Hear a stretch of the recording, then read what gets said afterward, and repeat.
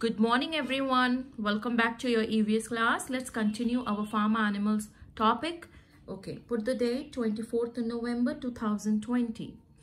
Name any five farm animals. We have to write any five farm animals here. Now let's start with horse. Come on. And spelling is H-O-R-S-E. Horse. H O R S E. Horse. Okay. Next one. Duck. Duck. D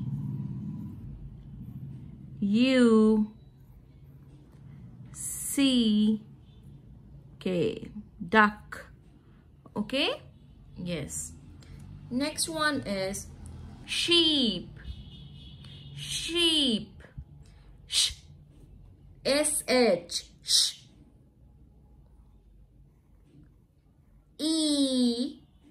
E. P. Sheep. S-H-E-E-P. Sheep. Next one is hen. Hen. H. E. N, hen. Last one, cow. C-O-W, cow.